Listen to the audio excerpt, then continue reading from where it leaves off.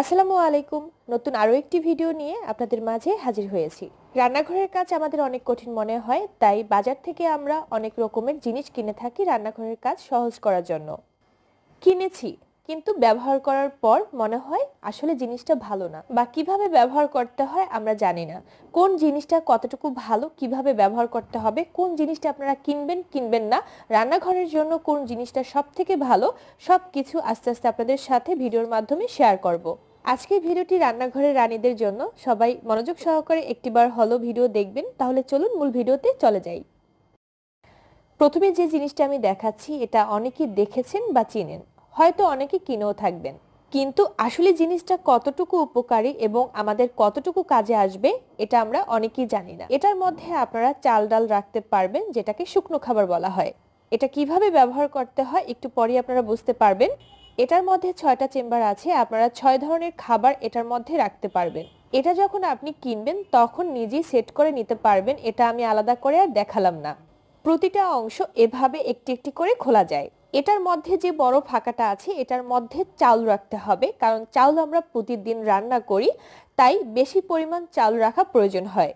অনেকেই বলবেন, আসলে আপু, এটা কি সত্যি অনেক ভালো? একটু পরে বলে দিচ্ছি। আমি এটার মধ্যে ভাতের চাউল দুই রকম ডাল আর পোলার চাল রাখব। কারও কাছে যদি ছোলা বা অন্য কোনো ডাল থাকে, আপনারা নিজেদের পছন্দ অনুযায়ী এটার মধ্যে রাখতে পারবেন। জিনিসটা কতটুকু ভালো? আসলে জিনিসটা খুব বেশি ভালো না, কারণ অনেক পাতলা। এই জিনিসটা কখনই আপনি অনলাইনে কিনতে যাবেন না, আমি অনলাইনে কিনেছি।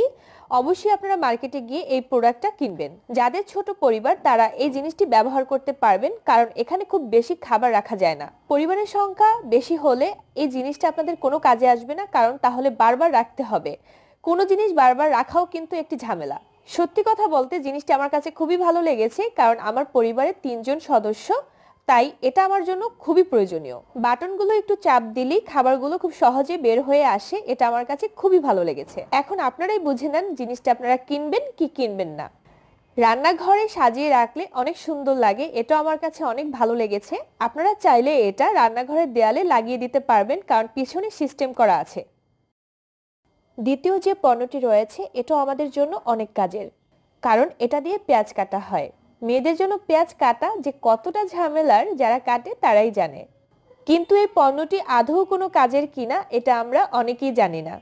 আসুন, এই পণ্যটি সম্পর্কে আমরা কিছু জেনে নেই। আমাদের জন্য অনেক সুবিধা হয় যদি আস্ত পেঁয়াজ কুচানো যায়, তাই না? এই পণ্যটি দিয়ে আস্ত পেঁয়াজ কুচি করা যায় কিনা, এখন সেটি দেখে নিচ্ছি। আমি এখানে আস্ত চারটি পেঁয়াজ নিয়েছি। এখন এখানে যে রশি সিস্টেম আছে, এটা ধরে টান দিয়ে দেখছি কাটছে কিনা। একদমই কাটেনি। আমার মনে হয়েছে আমি যদি আরও কিছু বার টান দিতাম, তাহলে এই কাটাটাই ভেঙে যেত। তাই প্রতিটা পেঁয়াজকে আমি চার খণ্ড করে দিয়েছি। এখন আমি রশি ধরে টান দিচ্ছি। সুন্দর করে পেঁয়াজ চপট হয়ে যাচ্ছে। একটু পরেই আমি দেখিয়ে দিচ্ছি। অল্প কিছুক্ষণ টান দেওয়ার পরে এভাবে বড় বড় চপট হয়েছে। আর একটু ট্রাই করছি, দেখি কেমন হয়। এই যে ছোট ছোট একদম টুকরো হয়ে যাবে, আপনারা অবশ্যই পেঁয়াজকে চার খণ্ড বা পাঁচ খণ্ড করে তারপর আপনাদের এভাবে ব্যবহার করতে হবে। এখন আপনারাই বলেন এই জিনিসটা আমাদের জন্য কতটা উপকারী। তবে আমার কাছে মোটামুটি ভালো লেগেছে, কারণ ছোট ছোট টুকরো করে একসাথে অনেকগুলো পেঁয়াজ চপট করা যাবে। তৃতীয় পণ্যটি অসাধারণ। এটা একদম একশোতে একশো পাওয়ার মতো। সব থেকে এই পণ্যটি আমার কাছে অনেক ভালো লেগেছে। গাজর, শসা, আলু, অনেক কিছু এটা দিয়ে আপনারা কাটতে পারবেন। বক্সটা যে দেখতে পাচ্ছেন, এই বক্সের মধ্য দিয়ে এগুলো রাখা হয়। তারপর যেটা আপনার প্রয়োজন হবে, জাস্ট খুলে আপনি ব্যবহার করবেন। আমি দেখিয়ে দিচ্ছি, আপনারা একটু ভালো করে লক্ষ্য করলে বুঝতে পারবেন কোন জিনিসটা কি রকম। গাজর কুচানো থেকে শুরু করে কীভাবে কাটবেন, সেটা বক্সের গায়ে দেওয়া থাকবে, আপনারা অবশ্যই দেখে নেবেন। এখান থেকে মাত্র কয়টা জিনিস আমি ব্যবহার করে দেখাচ্ছি, আপনারা একটু ভালো করে লক্ষ্য করবেন। এগুলোর নাম আসলে আমি জানি না, তাই আমি বলতে পারছি না। আপনারা একটু ভালো করে লক্ষ্য করলে বুঝতে পারবেন। আমি একদমই বুঝতে পারিনি এত সুন্দর করে কাটবে, আমি বারবার দেখতেছিলাম আসলেই কাজ হচ্ছে কিনা। ও মা, আমি তো একদম অবাক হয়ে গেলাম। এত সুন্দর করে কেটেছে, আপনারা যখন সামনাসামনি দেখবেন তখন আরও বেশি ভালো লাগবে। মাত্র এক মিনিট কম সময় আমার কাছে মনে হয় 30 সেকেন্ডের মধ্যে আপনারা একটি গাজর এভাবে করে কেটে নিতে পারবেন। আর এই কাঠটি নুডলসে সব থেকে ব্যবহার করা হয় আর ভাজিতেও ব্যবহার করা হয়। এটা যদি আপনারা মোটা করতে চান, এখানে সেটাও আছে। রেখে এখন আমি অন্যটি ব্যবহার করে দেখাচ্ছি। এটা যারা সালাদ বা চিপস খেতে পছন্দ করেন, এই কাটারটি তাদের জন্য অনেক গুরুত্বপূর্ণ। এটা আমার কাছে খুবই ভালো লেগেছে। অবশ্য প্রথমে হয় নাই, আমি জোরে ধাক্কা দিয়েছিলাম। এতে করে দেখি হচ্ছে না, পরে আস্তে যখন প্রেস করেছি, তখন দেখি খুব সুন্দর চিপসের মতো হয়ে বের হচ্ছে। আলু দিয়ে সব থেকে সুন্দর হতো, তবে আমি গাজর দিয়ে দেখাচ্ছি, কারণ আলুটা কাটলে কালো হয়ে যাবে। গাজরটা অনেক সুন্দর করে কাটা হয়েছে, আর ভেতরে ছিদ্র ছিদ্র হয়েছে, দেখতেই পাচ্ছেন। বাচ্চাদের খুব সহজেই চিপস তৈরি করে বাসায় খাওয়াতে পারবেন, কোনো কষ্টই হবে না। আপনারা চাইলে এটা দিয়েও শশা গাজর, আলু কাটতে পারবেন। আর এত সুন্দর করে কাটা হয় যেটা আমি বলে বোঝাতে পারব না। এটা দিয়েও আপনারা আলুর চিপস করতে পারবেন। তাছাড়া আপনাদের পছন্দ অনুযায়ী যে কোনো কিছু করতে পারবেন। মোটা করে কাটার আছে, চিকন করে কাটার আছে, আপনাদের যেটা প্রয়োজন হয় সেটাই ব্যবহার করতে পারবেন।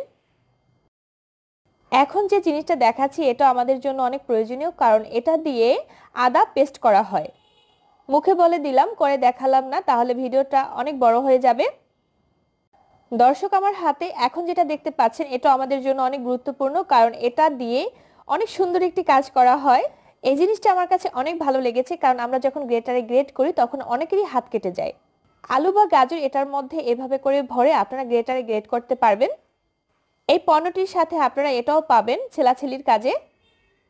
আলুটা খুব সহজেই ছিলে যাচ্ছে, আপনারা দেখতেই পাচ্ছেন। আর উপরের আবরণটা একদম পাতলা করে কাটে, এটা আমার কাছে খুবই ভালো লেগেছে। অনেক পিলার আছে যেটা দিয়ে ছোলা ছেলা হলে খাবারের অর্ধেকটাই পড়ে যায়। কিন্তু এই জিনিসটা একদম পাতলা করে কাটে, এটা আমার কাছে অনেক ভালো লেগেছে। এই পণ্যটিতে আমি একশোতে একশো দিলাম, কারণ এটা আমার কাছে সত্যি সত্যি অনেক ভালো লেগেছে। দামগুলো আমি বলছি না, কারণ এক এক জায়গায় এক এক ধরনের প্রাইস অবশ্যই আপনারা মার্কেটে গিয়ে ভালো করে দেখে তারপর কিনবেন। এখন আসি অন্য একটি পণ্যতে এই জিনিসটা আমার কাছে অনেক ভালো লেগেছে আর এটিতে আমি সবসময় পেঁয়াজ রাখি।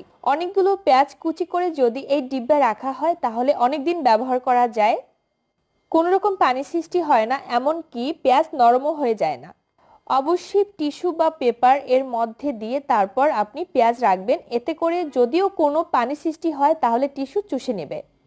আর অবশ্যই পেঁয়াজ যখন ফ্রিজে রাখবেন, তখন শুকনো অবস্থায় রাখার চেষ্টা করবেন, তাহলে অনেক দিন আপনি ফ্রিজে রাখতে পারবেন। পুরো পেঁয়াজগুলো রাখার পরে উপর দিয়ে আমি আরও একটু টিস্যু দিয়ে, তারপর ঢাকনা দিয়ে ঢেকে ফ্রিজে রেখে দেব। দর্শক, এই হলো আমার আজকের ভিডিও। কেমন লেগেছে অবশ্যই কমেন্ট করে জানাবেন। আর ভিডিওটা প্লিজ শেয়ার করে সবাইকে দেখার সুযোগ করে দেবেন। যারা অলরেডি আমার ইউটিউব চ্যানেল সাবস্ক্রাইব এবং ফেসবুক পেজ লাইক ফলো দিয়েছেন, তাদেরকে অসংখ্য ধন্যবাদ। ভালো থাকবেন, সুস্থ থাকবেন। আল্লাহ হাফেজ।